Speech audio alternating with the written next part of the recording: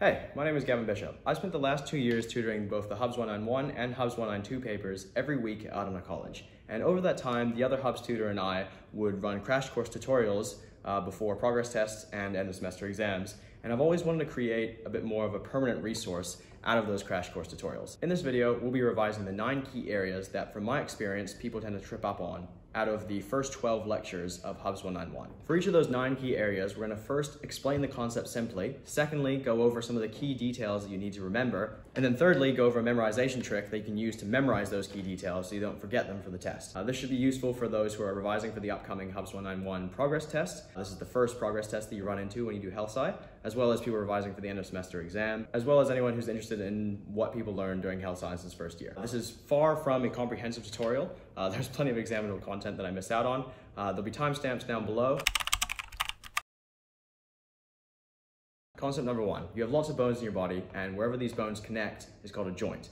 And you have different types of joints in your body in order to serve different functions. The main trade-off is between stability and mobility. So how much you can move versus how much it doesn't move when you don't want it to.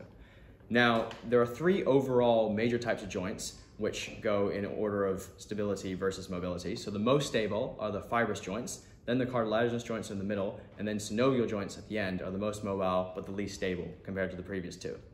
Now, there are seven subtypes of those synovial joints. This is one of the first big lists that you encounter when you do um, Hubs 191 and even in Health Sci. It's a classic example of needing to memorize a set of concepts. Now, I want to really encourage you, when you have to memorize these set of concepts, you want to turn it from a set into an enumeration. Now, an enumeration is a fancy word for just a list of things that can only go in that one order. It's always in a set logical sequence, and that's the way you remember it. So for the seven synovial joint types, I recommend Harry Potter shouldn't even consider playing basketball. Now, this is a really convenient enumeration, of course. The Harry and Potter, otherwise known as hinge and pivot, um, cover both the uniaxial joints, whereas the shouldn't even consider saddle, ellipsoid, and condylar cover biaxial joints, whereas the final, um, playing basketball, covers the multi-axial joints of the ball and socket and the plane joints. So that has that really easy in order for you to go and remember. If they're all out of order, that would make it much more difficult. Moving on to concept number two, bones aren't just there to make up your skeleton, they do a bunch of different things. The list you have to remember is they make blood cells, they provide support, they help with movement, they help with protection, and they help with storage of things like calcium and other ions. The way I remember this fact about bones is that politicians will lie about their skeletons in their closet, otherwise known as bullshit MPs, or BS MPS.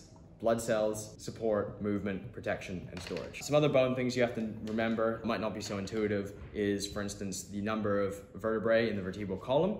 Uh, so you have your cervical vertebrae, then your thoracic vertebrae, then your lumbar vertebrae.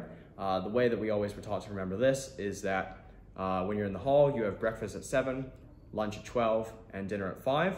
Similarly, another confusion can be between carpals and tarsals. Now you can remember that uh, the carpals are in your hand, so when you pull a steering wheel, you pull a car, that's the carpals. Whereas on your feet, the tarsals are by like the pavement or the tar, so that's the tarsals. Uh, the other confusion is that there are eight carpals and seven tarsals. So the way I remember which way around those are is that when one car pulls another, there's eight wheels there. So that's eight carpals. Concept number three is the Human Tissue Act. Now this is not a complicated topic, but a lot of people tend to trip up on it uh, I assume because it's in the first lecture and they assume it's not relevant directly to anatomy and physiology. They almost always put in a question about this in the end of your exam, so you should definitely know the four things about the Human Tissue Act of 2008. Firstly, bodies come from bequests. Uh, they're not from criminals um, or unclaimed people. Uh, secondly, uh, they have to give informed consent when they're alive. Thirdly, an immediate family member must give consent uh, after their death. So if they disagree, even if the person originally gave consent, then it's overruled. Finally, most are held for 18 months, but it can be further for research and teaching. Um, there's no like simple trick I have to remember this, but I think if you just think of someone asking you to explain, you know, how is it that cadavers come into the anatomy school? If you can explain the different points and the different checks that they have, uh, that'll get you a long way in the exam. Moving on to number four, bone is a living tissue just like every other part of your body, and it has cells and bits outside of the cells called the extracellular component. Um, the extracellular component is one third organic and two-thirds inorganic. The inorganic component is mostly hydroxyapatite, which is a mineral salt which gives bone its characteristic hardness. Um, and the organic component is mostly the collagen fibers embedded in a proteoglycan matrix. Now, an easy confusion to make is proteoglycans and glycoproteins, uh, because one is proteins with sugar all over it, and the other one is sugar with protein all over it. Now, the way you remember which one's which with these two words is thinking of a tiger shark. Now, a tiger shark is mostly shark with only a little bit of tiger. Therefore, proteoglycan is mostly glycan or sugar, which is a little bit of protein. In terms of the cellular component, which only makes up 2% of the overall bone, uh, there's three main cells you need to know about, the osteoblasts, the osteoclasts, and the osteocytes. The way you remember these three different types of bone cells is that osteoblasts blast out and create new bone matrix, whereas osteoclasts break it down, because class makes me break down, and osteocytes uh, are the ones that are on site. They stay in one place. They're trapped in those lakes, the lacunae. Concept number six is that joints can move in different directions, and we have different names for those. Key ones to remember are abduction and adduction. Remember, adduction is adding to your side, whereas abduction is abducting away um, your arm or, or whatever limb is going. Uh, the other one is the pro basketballer is in pronation, whereas the soup carrier is in supination. And a key difference to remember with those is they're not actually having rotation at the elbow, you're having it at the radio-ulnar joint. Another easy area to confuse is the radius and the ulna, so just remember that in the anatomical position, rum. That's radius ulna middle, which makes rum.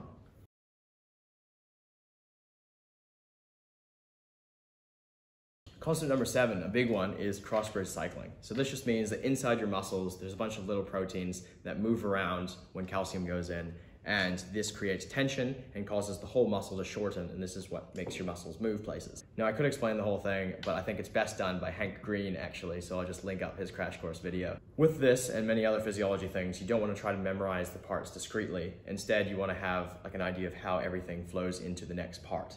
Uh, sort of like an enumeration, uh, but with real life concepts. Concept number eight is that in order for the muscles to know that they need to do their shortening, you need to send an electrical signal down to the muscle um, to tell it to release calcium. So all of the muscle cell shortening happens because calcium gets released into the water inside the cell or the cytoplasm. And where it is beforehand is in little bags inside the cytoplasm called the sarcoplasmic reticulum, which is a fancy name for the endoplasmic reticulum, but because it's in the muscle, they call it sarcoplasmic reticulum. Now, um, the way you tell the sarcoplasmic reticulum to release that calcium is you have to send an electrical signal down there. Uh, and you learn much more about the details of action potentials when you get to the neuromodule, um, but just for now, know that it's an electrical signal. So you know this electrical signal travels around the outside of the cell, but how does it get to these little organelles, these little pockets inside of the cell? It gets that by traveling along the outside and then going into these pockets called T-tubules. From there, there's three main things you need to know about. First, there's a voltage sensor that senses the electrical signal coming down. Secondly, there's a gate which somehow talks to that voltage sensor and then lets all the calcium out of that sarcoplasmic reticulum. And then thirdly, there's a pump which puts the calcium back in at the end of it all. It works slightly different for cardiac and smooth muscle, but you guys don't need to know about that. Um, just know that the other types of muscle exists. Just like with any other physiology concept, I recommend putting it all graphically on a piece of paper as a visual representation for what you want to understand. And then after that, and then once you understand everything in the concept, it's best to predict memory confusion. So predict what might be confusing to you in the future after you've had a few nights sleep or in a few weeks time.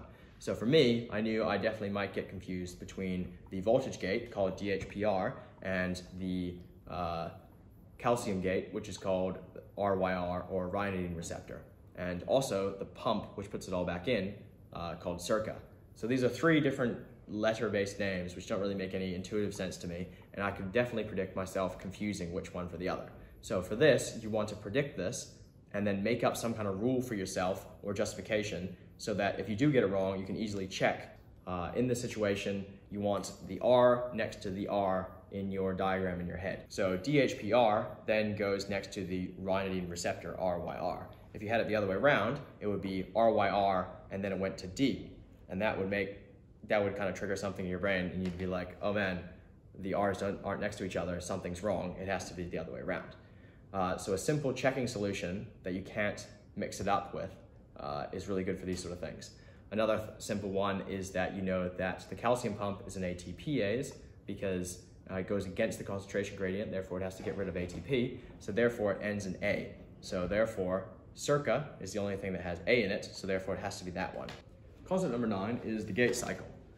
When we walk, each of the joints goes through a different repetition of different movements that helps you do that very specialized movement of walking overall. When it comes to the gait cycle, you really want to make sure you don't get confused between the position the joint is in and what the muscles are doing at that time. So for instance, when your heel just hits the ground as uh, at the beginning of your step, uh, your hip will be in flexion, it will be quite far forward, but all of the muscles of the hip will be extending because they're pulling backwards at the time. Just because the muscles are extending doesn't mean the hip isn't in flexion. I really recommend walking around and thinking about each joint one at a time and what position that joint is in, as well as what the muscles are doing at any given point. Then taking all of this information and putting it into a table like this one, and then you can test yourself on the different parts of the table in order to have an active recall form of memorization. Just quickly, one area of confusion that comes up all the time in tutoring is that how the hamstrings can be concentrically contracting from mid stance into late stance, even though the knee is going from flexion to extension. If that confuses you, don't worry about it. Um, you can just memorize it. Uh, but if you are trying to figure out uh, why that is the case, uh, try to visualize a runner instead of pushing off the ground all the time, they're going forward, grabbing and pulling the ground towards them uh, that's kind of the action that the hamstring is performing. As well as remember that the hamstring connects to the hips, so the hamstring performing concentric action is also extending the hip, uh, as well as flexing the knee joint. All right, that concludes the nine quick tips. If you're wondering about tests, just remember with HealthSci, if it's not in the slides, you don't need to worry about it. But if you do have questions, you can ask your tutors during tutorial time or your lab demonstrators during lab time, um, or if you go to past tutorials, they're brilliant as well. I do recommend getting hold of some kind of God files, some kind of past answer banks or notes that can be really useful. Um, I'll link some of the notes that I used in this video down below. Uh, shout out to Otis for his beautiful drawings. The way I've structured this video isn't how I organize my notes, nor is it how I recommend you should. It was just for teaching purposes. Um, I am actually working on a video about how to design a study system at the moment, um, and I'll film and upload that in the next few weeks, hopefully. If any of this video was helpful or interesting to you, uh, please click subscribe. It's really motivating and uh, supports the channel. Um, all the best with exams, and I hope you have a great day.